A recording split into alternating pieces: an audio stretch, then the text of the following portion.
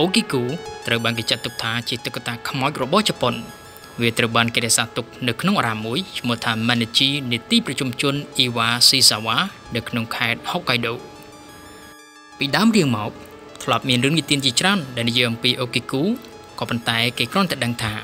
មានក្មេងប្រុសម្នាក់មានអាយុ17ឆ្នាំឈ្មោះថា Ikichi Suzuki បានទិញតុក្កតានេះឲ្យប្អូនស្រីរបស់ខ្លួននៅក្នុងឆ្នាំ1918 ប្អូនស្រីរបស់ខ្លួនពិតជាពេញចិត្តនឹងតុក្កតានេះណាស់ហើយទៅណាមកណានាងតែងតែយកវាទៅតាមចនិចក្រោយមកនាងមានជំងឺផ្ដាសាយធំហើយក៏បានលាចាត់លោកទៅរឿងរ៉ាវទាំងឡាយក៏ចាប់ផ្ដើមតាំងពីពេលនោះមកដំបូងឡើយគេគិតថាយកតុក្កតានេះទៅបញ្ចុះជាមួយនឹងក្មេងស្រីនោះក៏ប៉ុន្តែក្រោយមក គេក៏បដូរចិត្តដោយចង់រក្សាវាទុកជាអនុស្សាវរីយ៍នៅពេលដែលគេនឹកដល់អូគីគូពួកគេក៏បានដាក់ឈ្មោះតុក្កតានោះថាអូគីគូពោលគឺយកតាមឈ្មោះរបស់ក្មេងស្រីដែលបានស្លាប់នោះ មិនយូរប៉ុន្មានក្រោយមកគេសង្កេតឃើញថាសក់របស់តុក្កតាអូគីគូដែលមុននេះមានត្រឹមចង្ការប៉ុណ្ណោះស្រាប់តែវាលូតរហូតដល់ត្រឹមជង្គង់ពួកគេគិតថានៅក្នុងតុក្កតានេះគឺជាព្រលឹងរបស់អូគីគូក្មេងស្រីដែលបានស្លាប់នោះហើយនៅឆ្នាំ1938គ្រួសាររបស់អូគីគូសម្រាប់ផ្ទេរលំនៅឋានទៅកាន់កន្លែងផ្សេង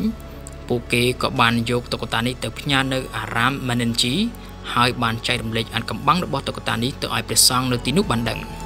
ចាប់តាំងពីពេលនោះមកអូគីគូស្ថិតនៅក្នុងអារាមនេះរហូត